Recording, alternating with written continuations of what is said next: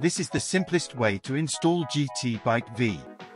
The easiest and safest way is to download the exe self-extracting file from the developer's website, gtbikev.com.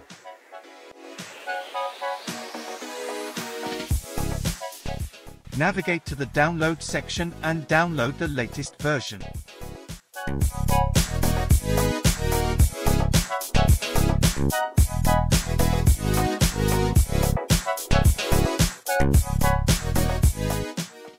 When this is done, navigate to where your downloads are kept. When you open the file, you will get a warning, but be assured, the file is safe, as long as it is from the official website. When opened, you must tell the installer where your copy of GTA is kept. This will vary, depending if you have the Steam, Epic Games, the Rockstar version, or placed in a custom directory.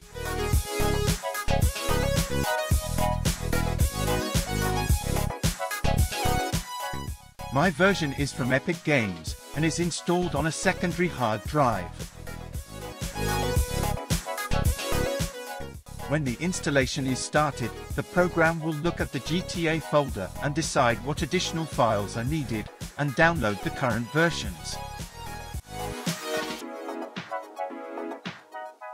This should be all that is needed, as far as software is concerned, to run GT Bike V. I hope it helps, and have a great ride.